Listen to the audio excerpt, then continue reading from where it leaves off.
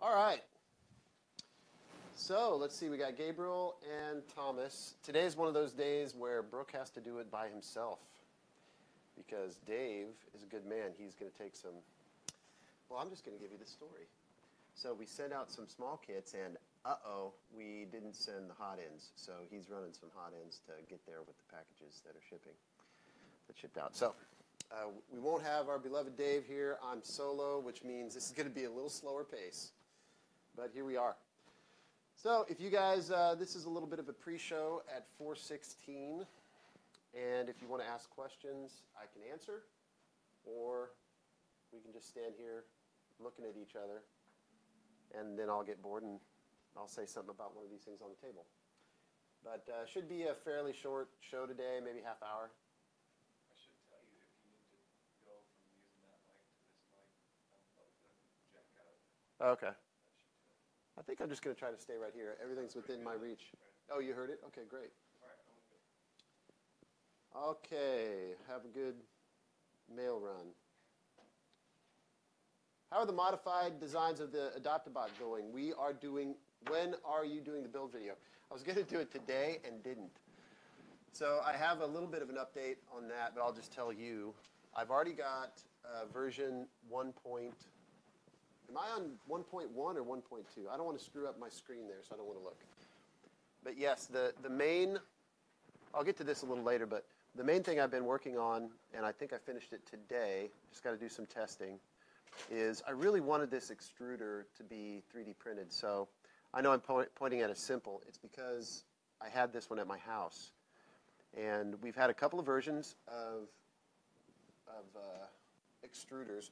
Here on the, I don't know how fancy I'm going to get with all of this video stuff. Let's see if I can, maybe that'll work. Is it going to zoom? Oh, it did zoom. Okay, so this is a little stubby nose here, and this is the Alu V1. Well, when we did this one, it was back on the simple. I don't think I have one with that on it. But that first extruder, um, man, I used to do laser cut wood, like a Wade's. I did all kinds of crazy stuff, bad ideas, but I mean, they worked. But when you're making thousands of printers or hundreds, uh, you want something that's really, really robust. So we did this design in aluminum, machined aluminum, and it worked really, really great. Until people were like, wait, what about NinjaFlex? And it didn't work that great on NinjaFlex. So that was a whole different target. So we ended up, uh, do, so by the way, if you have an Alu V1, NinjaFlex is really not going to work.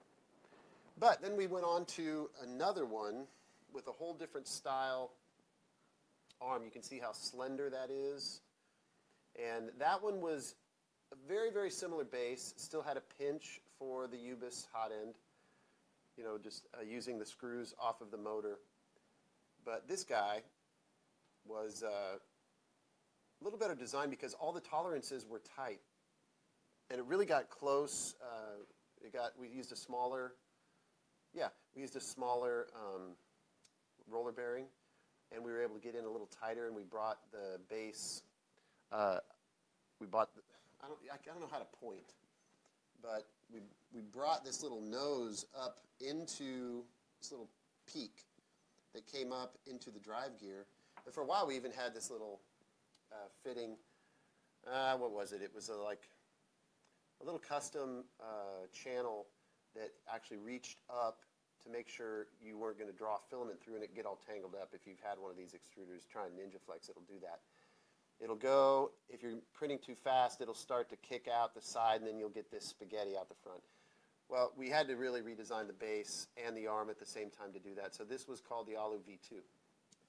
So, but the problem is these are expensive. I mean, these are made locally here, uh, machine parts. There's the arm, the base, and then this little Delrin pin, and we've recently changed to aluminum um, just for a little tighter tolerances on the tightness of it. People were tightening this either too little or too much. And if it's too little, it'll wobble. So anyway, but uh, it's a great extruder design. So before we do these, we actually print in plastic.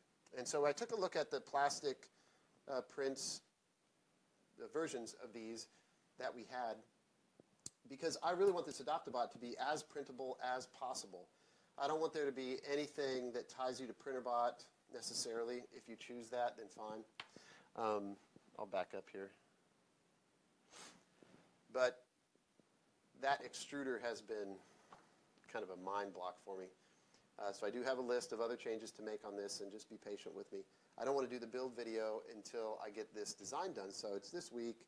I only have Friday left tomorrow uh, with Dave's help. So I'll see what I can do uh, tomorrow morning or tonight and see if I can get that build video going tomorrow. But the other thing is, um, when you change hardware, you know, it changes your bomb and it changes the bag of nuts and bolts and stuff. So I'm in process on V1.1. Uh, it might have been 1.2, I forget. But anyway. So uh, that's coming. Um, I know I say this every week. It's coming. I'm going to do a video tomorrow, and it, then I don't. But I am I'm hanging in there. Let's see what else we got. Hey, what's up, Nick? You want a replacement Delrin piece for the Alu 2. Um, yeah, you're going to have to fill out a ticket probably uh, if you want that in Delrin. Of course, you could print one. Um, I don't know. You can have this one. That's the Alu V2. Uh, this one's chewed up a little bit, but we have we have some of these left. Uh, we what I say some of these Delrin versus the aluminum. I think we still have some Delrin. Should be able to get you one. Just uh, contact us through support. Um, was it for an adopt-a-bot? This is uh, Jeffrey was asking. Let's see. Where can a person get a simple T-shirt uh, like Dave had?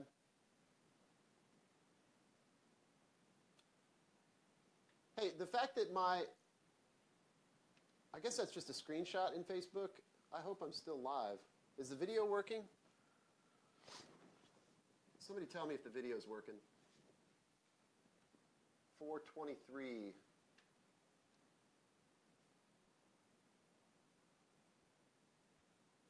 Okay, it's working. Good. Thanks. Okay, great. Uh, let's see. I'll stick with the metal one on my Adoptabot. Feel it will be better compared to a printed one since mine was shipped with one. Are the updated files online yet? Ugh, sorry, guys. No. I have, I, I guess I should look. Am I still on camera? Okay. I can be over here and not have a blank screen. Let me see real quick. Da-da-da. You know what I should do? I should share this half done. Let's see. I'm going to share a link with you that I'm working on the extruder if you want to grab the files. Come on. There. But I warn you, I have not even. Where did it go? Oh. There's the V1.1. All you're going to see is the plastic extruder. That's the only difference, really. I might have done some cleanup work on uh, some other parts on that model, I could tell you. Let me look. Yeah, I've done some cleanup work on here. Some, some stuff was bugging me on this part, so I cleaned those up. Um, I've added a few screws to the front, but I still have to fix a couple of issues. And one actually is uh, this back case. I've just finally decided, yeah, we're going to split this back case further back so we got screws here. And I'll figure out a way, either with a simple screw, most likely, we'll tie these two panels together so it's a little more, more firm. I got to tell you that a guy online, let me see if I can find it. Um, ay, ay, ay. I'm looking on my Twitter feed. I don't know if you guys follow me on Twitter. It's just at Printrbot. Um, he did a really nice uh, case for ramps. So he converted his adopt, the Adoptabot design to ramps and put a case on it. He really feels that teachers are going to want. There we go. I don't know if you can see this. Let me see if I can uh, zoom in here. Golly, too many things to do.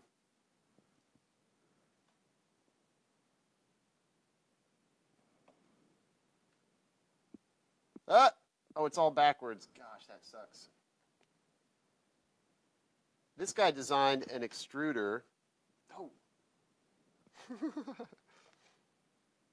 he designed a, a printed extruder, and he has, let's see if there's a shot. He even did a case on the back with a switch. And you see that slick side that he has?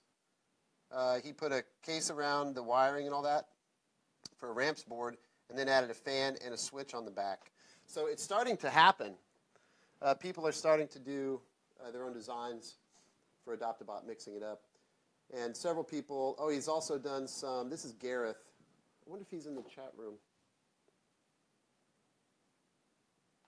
Anyway, his name's Gareth. Uh, Bobblejot, at Bobblejot on twin, Twitter. B O B B L E J O T. He does some really nice designs. Uh, he had some cable ties that he added. Not a big deal. Uh, in fact, it's a good idea. But I remember thinking, man, why am I not just using some of these talented people's designs? but anyway, I'm going to keep stay the course. Um, that link is if you want to try the, the extruder. I haven't even tried the base. I actually split this up into three parts so it would print a little more nicely without a whole bunch of overhang. I'm being very sensitive, uh, or uh, support. All of these parts can be printed without support. So do not print with support. If you're printing with support, you're doing it wrong. And you're probably not orienting the part correctly. The plates that I uh, developed, um, or threw together, uh, will put them in the right orientation.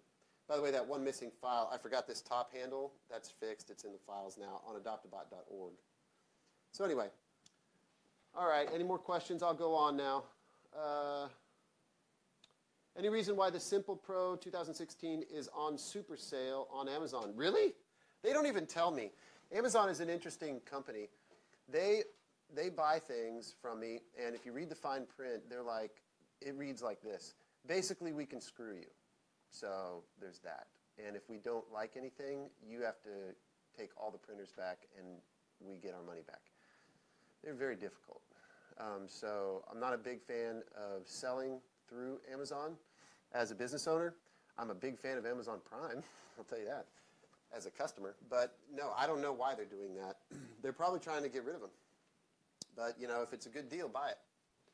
Um, ours, we did lower the price on ours to $6.99, and I bet that pissed them off. They have bots that go out and check to see what price you're selling it at so that they can always beat your price. That's crazy.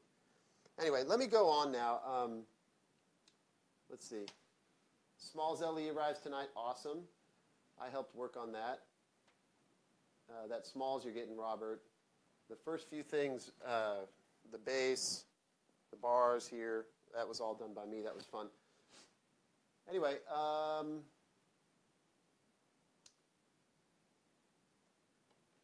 Margie Drumm joined. That's my wife. All right. So let me tell you the other Adopt-A-Bot. So I have been struggling. Um, you know, the Adopt-A-Bot, it is a big, there's a lot of moving parts, so it's difficult. But let me just brush through this very quickly. So I've got all these people that are willing to help, and some of the groups are, you know, raring to go and, and doing things like the extruder group. They've really done a lot. Um, but some of the other groups need direction, and I take full blame for that. I need to give them clear direction. So, uh, can't do a lot until the files are completely finished. There's a build video. There's an updated bomb. You can see all my notes on the bomb. Uh, but we got to get this right. But I'm going to take you through um, one thing that I've decided. So here it is. I went through and I got all my wiring together, and I've been going through every day the last few days how can we utilize this wiring? So let me say this first. There's this group of work that will upcycle things that I have available for free right now. And then there's everything after that. So I thought, well, I don't want to create a big complicated machine to just, you know, rework a few wires like I was talking about last week. Um, because there's a lot of specialized tools involved. And that doesn't scale. Uh, we can't find enough broken things to make the throughput of the sales of these printers, you know, the, to get them in the hands of people quickly. So there is going to have to be a half measure at the beginning of this uh, next part of the campaign, which is going to be 100. The goal is 100 printers by Christmas. So um, the file should be done very soon. The build video will be done very soon. I'll have all the nuts and bolts, correct sizing in the drawing, and then we can do exploded views, and the instructional video can match that perfectly. And all the recent parts can be in the pictures so people aren't confused. One problem with open source hardware instructions is, you know, there's people already posting videos of them putting it together, which is fantastic. But the authoritative instructional video needs to come from Adoptabot and me, and I'm the one that needs to say, these are the official files. Here's links to other files that would work with them, and there's a big community. But uh, you just have to know where the North Star is, you know, so everybody's, there's not a lot of confusion. So anyway, um, the wiring thing was really bugging me, and I had a kind of an aha moment. So here's what we're going to do. We are actually going to prepare the wiring kits up unto uh, up through the amount of rework that I can do. So I'm going to do the rework, and here's how that's possible. Instead of cutting all new wires, see we had a lot of wires that uh, were the wrong length. So my wife and I have cut these down, and I had one half of a, a wire here. This is the hot end power wire. So there's half a wire here that I can use, and there's half a wire here that I can use. This goes to the, uh, the hot end. So what are we going to do? Well, here's what we're going to do. We're actually going to add to the requirements to build these things, you will have to solder. Now, going back uh, to 2011, I had to solder to build printers back in 2010, 2011. Um, that's all there was. And we got away from that because we wanted to be really consumer friendly. But I was remind, I just realized soldering is a pretty low bar. It's a very popular thing to do when you're at Maker Faire. Okay, are we live again? Let's see.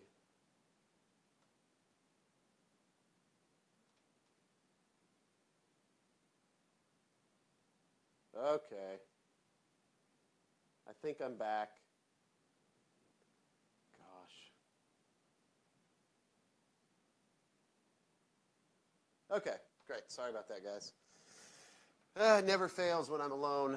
It ain't a demo until it breaks. Well, anyway, what I was saying was um, here's where we're at with Adoptabot. Uh, the reason that I think I'm over the hurdle on the decisions that I needed to make to get to market quickly because I'm going to require soldering with the kit. And that'll really make it a lot easier. Instead of sending crimping tools and teaching people how to crimp, and there's nuance involved in that, by the way, especially with hand tools. It was just really stressing me out to think, oh, I don't want to have to train people to do all of these things. And why should they if I can make wires here very, very easily, and uh, then we can source, if there's cheaper wires to be had, we can, we can source them. But uh, what we're going to do is, like for the hot end power, we will send two lengths and you will solder it yourself. We can send little uh, heat shrink. For the thermistor power, or the, not the power, but the thermistor, um, two cables, you can cut it to length. Um, it's about the right length now. You can solder and you're good to go. Now the motor wires, uh, that was one it took me a while to decide. A very, very uh, specialized crimp here and a more standard crimp here. But you know what's easier is I'll crimp them and I'll get them to you. Now we may just house them for you as well because there is some nuance involved in that. I just hate for one wire to keep you from printing, you know what I mean? So doing these motor wires, which are very finicky uh, with the housing and even the crimping. So the end stops are easy. We have hundreds and hundreds of these little small ones that will be ready to use. But on these 12-inch ones, um, the wire's there and ready to roll. Figures that the one I picked has a weird crimp on it. But anyway, the, it's a simple solder to the two outside pins. So again, all you've needed so far is a soldering iron. Now this one's a little bit more finicky, but we get these, uh, I wanted to explain this. I guess I better check. Okay. Hold on, I'll get to your question in a second. Um, these are the, the sensors that we order, and they come with this long cable. Well, it's made in China, and let me tell you, they use uh, this wire isn't the best wire for wire fatigue. Now, there's not going to be a lot of fatigue on the Adopt-A-Bot because it just doesn't move that far, and it's all pretty good uh, as far as the locations and the lack of this of strain on here. Um, not like say a plus with a really tight, you know, bed sliding a long ways in a very tight space. But these these come and what we do is we cut them down and then we strip them back, similar to this.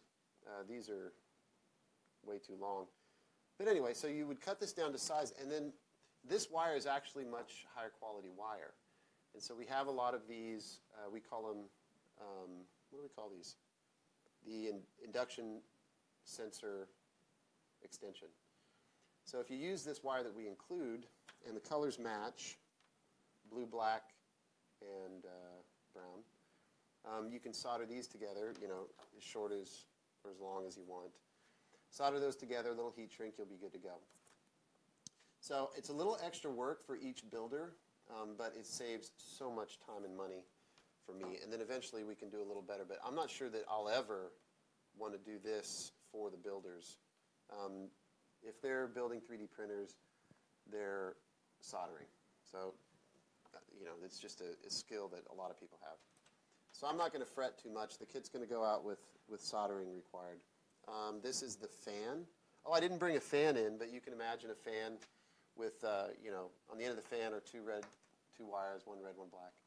And it would just be a solder point for the fan. And you can decide on length, clean up your wiring. Something that not a lot of people do, but I challenge you. Do wire at least as good as I have here. And then we've got this little dongle. And we had those crazy parts somewhere last week uh, that this is scavenged off of. So we can just strip, crimp, house, and you won't have to worry about something that would take a very specialized tool. So basically, it will get you up and running faster than me waiting on a whole bunch of people to do a whole bunch of intricate work for a limited amount of wires. So in the future, we could utilize people for housing uh, these wires because that is very time consuming. But let me just go one step at a time. So anyway, now with the wiring uh, settled, uh, I can get the kit stuff out to the people. And here's one idea I do want to run past. Still live? Here's one idea I, do want to run past people, see if anybody has an opinion. I'm trying to figure out, uh, you know, this is a lot of stuff to ship around. And, you know, the easiest thing would be for me to do it all here, and it would be completely against the whole nature of the project. We want to use community members as much as possible, but not overload them. Uh, set them up for success. So if I ship, let's say I ship, you know, a couple big boxes of stuff, um, I'm thinking that I could ship to a distribution center in each, maybe one in each of the time zones. And so I can ship 25, a box of 25 of everything you need over there. They can kit it up. And as people contact, uh, as people in that time zone buy a printer or sign up to build or whatever, um, it would be a shorter path geographically for that kit to ship out. And so there would be people with a lot of parts, and as they get an order, they would kit it up and they would ship it out. It keeps it a little more simple. Um, so anyway, that's what I'm thinking right now. I just know that there's too many moving parts to have 50 people all doing one thing um, right now. But I still need people to do board work. Uh, I have a couple of volunteers I haven't contacted yet. Um, so board work is needed, and I need to find these distribution centers, or at least use these uh, kitting people, the vitamins group, as a centralized location or as a centralized resource to get the kits tied up. So all logistics, kind of boring, but it's necessary. So anyway, uh, we're doing okay with the Adopt-A-Bot. It's just one of those things that it's a project. Um, it's not quite a product yet, but we're trying to get it there. Now, on the, I wanted to show you some of my fails on the extruder that I designed. Originally, how do you work this? Okay. What time is it? 4:43. We're going to be done in 15 minutes. So the, whoops, this right here is an example of the finished arm. and it's real chunky and blocky. Well, I started with this being my, you know, inspiration for what I was going to do. And of course, on the first one, um, my computer goes to sleep while I'm away from it. But it got, gave me an opportunity to see how bendy this was. It's just a little bit too bendy. It's PLA right now, which you might want to do it in a different plastic, but um, I thought, ah, that's not going to work. So I had a couple of failures because I couldn't figure out the dang setting on my Mac to stop it from going into screensaver. But anyways, then I decided, well, I got to beef this up a little bit. Let's make it a little thicker. So I made that a little thicker. And, but it required, I wanted it to print flat. This part originally uh, would print on its side, but it has this forked overhang that becomes problematic and you have to dig out. That's where the bearing goes. So I thought, oh, I want to print it like this so that it prints straight up and these forks are in the air and there's no real overhang uh, or support needed, I should say. So I started fiddling around with the angle of the print and I did this little slope. But with the top sloped, it skewed this through hole and it got a little bit confusing. On this, I had to print a couple of versions of this with different tolerances. This is on a 0.4, this is on this printer, a 0.4 nozzle. And it was just a little bit too uh, tight. Uh, in fact, this one, you can't see it, but I had to dig out the center with a knife and it was a pain in the butt. So I got it a little bit wider on the next version and that worked out a lot better. And so then I just gave up on that fancy design. I tend to do this, over-design something. And so I went back to a very blocky design, and this has even changed one other time uh, after this. And I've got a design I think works really well, and it's very, very, very, very strong. So it prints flat, and you don't even need, on this printed part, you don't need this Delrin piece. Um, it just pushes up against the motor, and you don't need a washer on the outside. This has no washer. Here it is. Uh, there's no washer on that screw, so it just rests flat up against uh, the motor, and all of the clearance holes all right. So just a lot of prints to get it to where I needed to go. But I, I was having so much fun with design this week, I wanted to show you one other thing, and then I'll try to take some questions. Uh, the my son is on a baseball team, and we live in Lincoln, California. It's Northern California. The weather's really nice, but uh, we had a little bit of a heat wave a few weeks back, and there we were sitting there in the stands, and I was just jealous of all these parents that had these sunbrellas or sports umbrella or sports umbrella, these big old shade, you know, umbrellas. And I thought, get on Amazon, Amazon right now, Margie, and let's let's order one of these. So, one of the popular, uh, I got to go around. One of the popular, let me see if I can just back up here.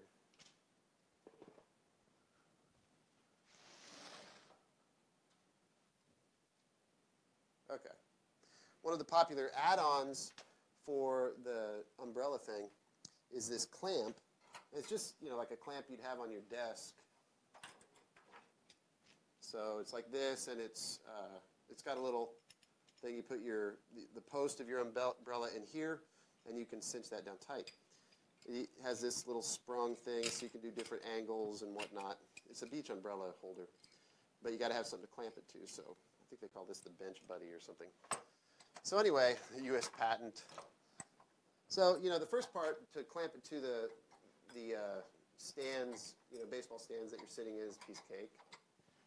But then I didn't bring the whole umbrella in, which would have been hilarious. Um, so other people have ordered these and had the same same realization. Got to tighten that. That I did. Um, well, this would be great, um, but this hole is so big, it just falls through, and it rattles around in there. So they do have this set screw, little wing nut thing, but if you tighten this all the way down, tighten it. Okay, that's bottomed out right there. Still doesn't work. So my uh, programmer actually has a kid on the baseball team too, and me and him both were like, "Oh, we can fix this with the 3D print." So anyway, I opened up Fusion 360, and I started designing. And it, it just took about an hour. And the first thing I did, I didn't have calipers, so I just used a you know, ruler. And I wanted to approximate the size of the hole here. You can't see it, but there's a little clearance issue here. The set screw sticks out into the cylinder a little bit. And so I just wanted to make sure I could get a tight fit.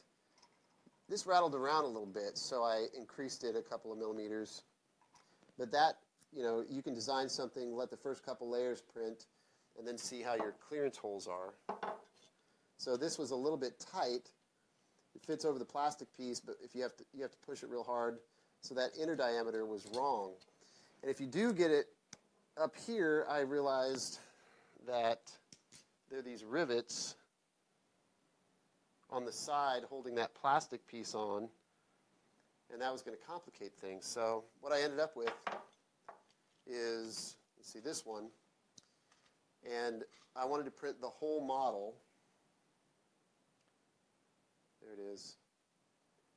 And you can see there's clearance for the umbrella to go in there, the rivets. That's a real, it's pretty good fit. There's a little bit of slop in here. Um, very little. But what's nice is you can kind of act, you know, this won't come out. Oh, whoops. Okay, if it's not aligned, that stops it from falling off. So that's nice. That fits on fine. And then this channel right here has a clearance hole for the set screw to go through. So it, and it sticks out a little bit, so I made that little channel going down through to give it clearance for that. So in the end, ugh, after, oh, by the way, I printed it full size on the uh, Simple Pro. So that's on the Simple Pro in low resolution, which is 0.2, and it's hollow. Uh, so you can, I don't, you can't see it, but it's bendy.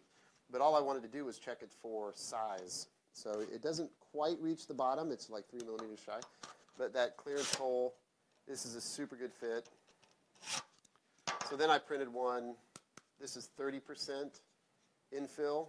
And I just wanted to see if that would be enough. But you can hear it crackle a little bit when you pinch it really hard. So I ended up doing it in uh, dense or 70% infill. So now the set screw doesn't have to reach it pressing against the back of the cylinder. It reaches the umbrella pole itself. So anyway, I loved having a practical problem that I could solve with 3D printing. In a very short amount of time, I printed, uh, well, this four of them. Two are tests. This would work. It's just a little bit iffy for 30% infill. But I took the two 70% infills and I gave them to um, one for, to my programmer and one to another baseball dad. And he was like, oh my gosh, thank you so much. It was really cool to see that, you know, something that cost me, what, not even a buck, um, was just so appreciated. And it solves a problem for a lot of us parents because we're all ordering this thing. So it's, it's pretty fun. I just thought that was a neat story for a practical design project. All right. If there's any questions, ask them now because I'm about ready to cut it off. So we'll have a little question time. Whoa. All right. Uh, let's see. How do I do this? How about design it without the channel, the way you could put it on the pole without the top of the umbrella? That would keep it from getting lost. Oh, yeah, totally. You are, uh, no. It can't live on the umbrella. Um, let me get it. Maybe you're right. You could get it over the umbrella without these channels. You're right. I could omit these channels that uh, clear the rivets and slide it in from the top and it could live on the umbrella. You're right about that, actually. You're right. I could load it from the top and then put that back in the umbrella and just stay there. Good, good, good call. It would use a little more material, but it would live on there. I could tighten that up too, so it'd be a nice tight fit. I'd still have to have this clearance channel on the front. I love it! Like live design ideas. That's pretty cool. Don't you think a hot day the PLA will melt? Oh yeah, so it was like, let me turn this camera. uh, I mean, it's like 70 degrees here now, um, but in a hot car, it sure might. So yeah, I would recommend another plastic. I mean, I have all kinds of plastics, so you're right. When it gets to be hot summer, I'd want to print that in something else. I volunteer for East Coast. Yeah, I wonder what it's like over there, Kelly.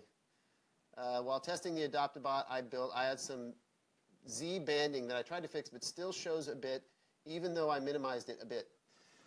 Yes. So welcome to the world of RepRap. So I knew with a printed bot um, that it's you know I build. Whoops, everything's falling. I build metal bots now, and these problems go away, you know, for the most part. But uh, Z-banding, here's the issue. So you've got multiple uh, parts making up this base. You have a part that stretches across the Z motor, and that's the, the flat part of it, uh, mates to the motor, so it's perfectly perpendicular. Uh, it, not perpendicular, it's parallel. You know, it's right on the top of the motor, so that keeps it nice and flat so that you do get that top surface perpendicular like this.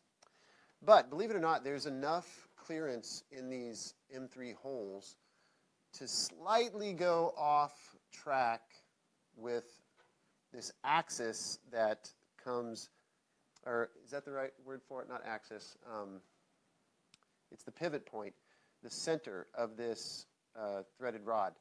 So wherever that threaded rod ends up, when you put it on the motor and tighten down this, that's the center. Um, another issue too is this, you know, you could tighten this in a way, aluminum is actually pretty soft. Um, you could tighten this in a way uh, where it's catching a thread weirdly. Maybe you don't have it deep into the, the threaded rod, deep into the coupler. So I always look to make sure I'm splitting the space evenly between the motor shaft and the Acme rod. Now there's only one set screw on each of these sides. So anyway, there can be some little, little variances. And normally one little variance wouldn't result in a terrible Z-band, but they can stack up. So let's say you've got your motor in the wrong place, um, and you don't even know it's in the wrong place. It's just a little bit off.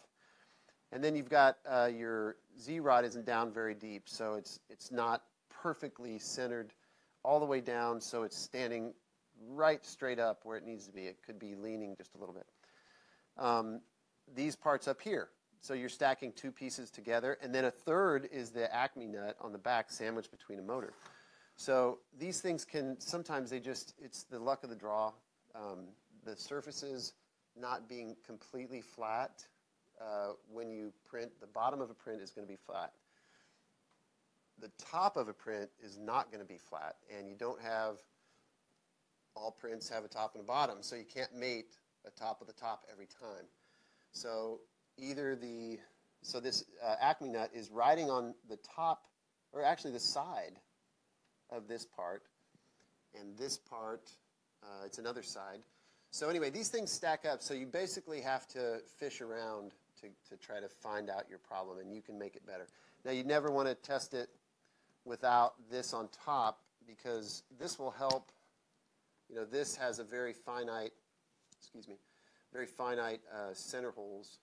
So this, if your bars did happen to go in a little bit crooked, this will help them straighten out and kind of keep, you know, everything in line.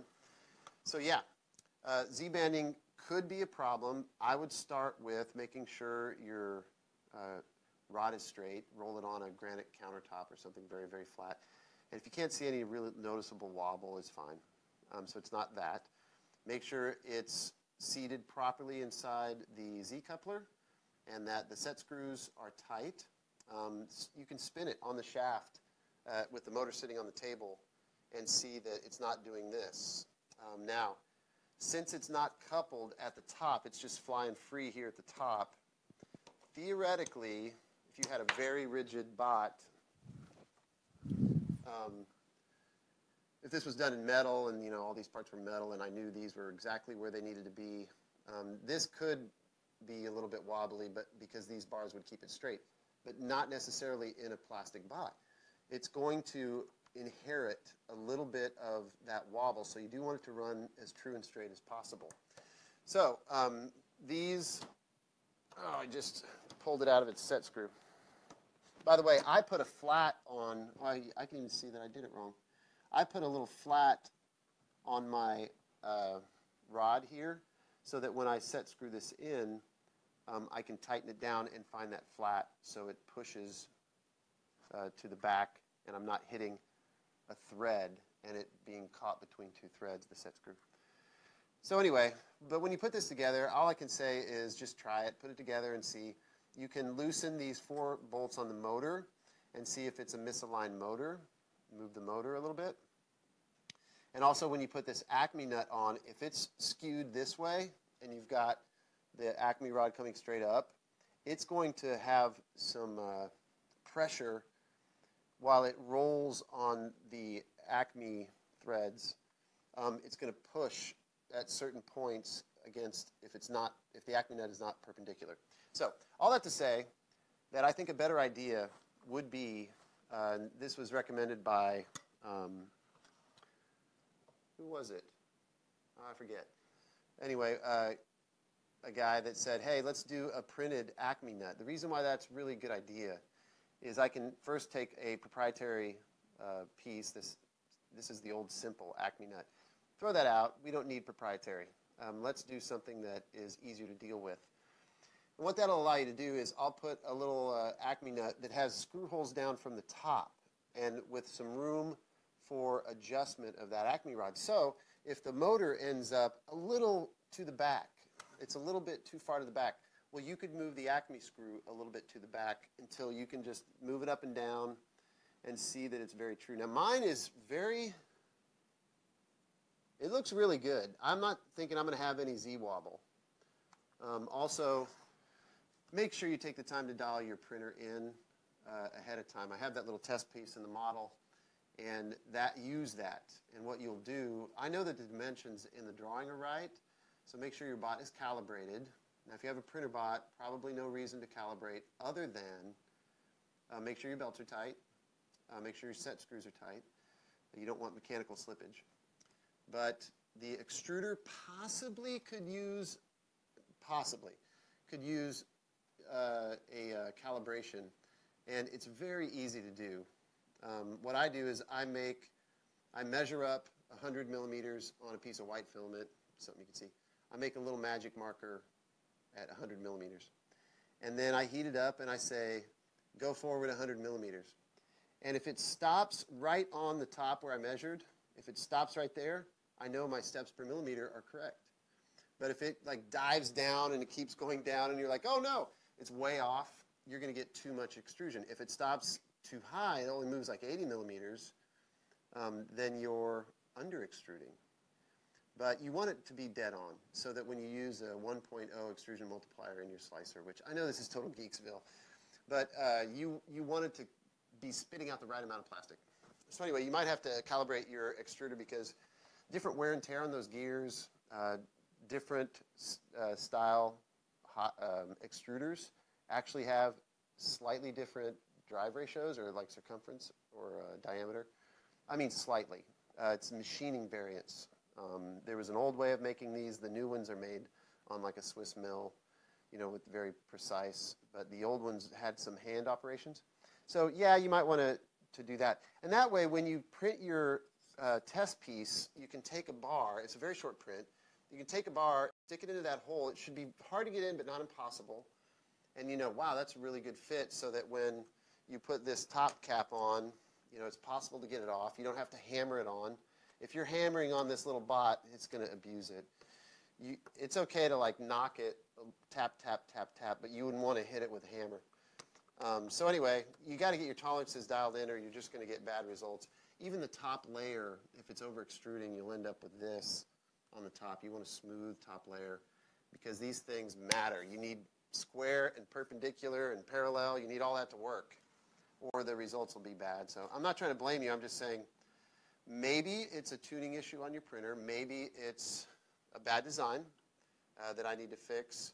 Um, maybe it's when you assembled it, um, two things, three things added up, and it's got some wobble. Wow, that was a lot. All right. Uh, by the way, I had one guy um, go back to a method I used years ago. I don't have an old one out here. Well, maybe I do. Yeah, look at this. Years ago, uh, I'll zoom in. I took a piece of um, nylon tube and two zip ties, and that was my coupler. Um, so a little piece of nylon uh, tubing you can get at the hardware store, and a couple of zip ties, and, and that was my coupler. The nice thing about that was it's very, very forgiving.